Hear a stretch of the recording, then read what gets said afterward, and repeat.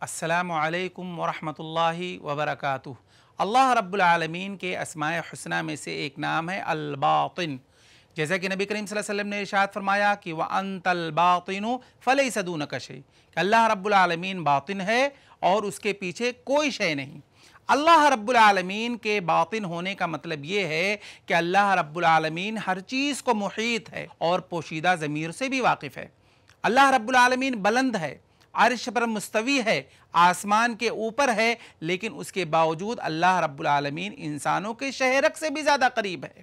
ان کے پوشیدہ رازوں کو بھی جانتا ہے اور ان کے ظاہر سے بھی باخبر ہے۔ جیسا کہ اللہ رب العالمین نے کہا، وَنَعْلَمُ مَا تُوَسْوِزُ بِهِ نَفْسُ وَنَحْنُ أَقْرَبُ إِلَيْهِ مِنْ حَبْلِ الْوَرِيدِ کہ اللہ رب العالمین شہرک سے بھی زیادہ قریب ہے۔